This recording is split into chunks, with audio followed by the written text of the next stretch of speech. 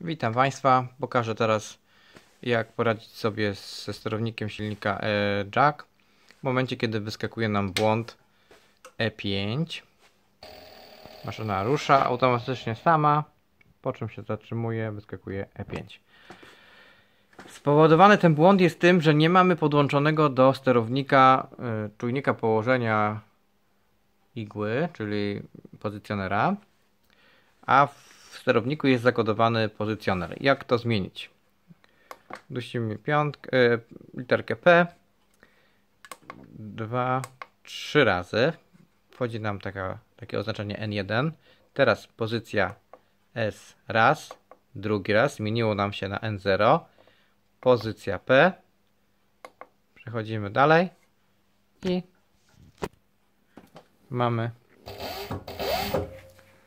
wszystko dobrze. Maszyna nam pracuje normalnie.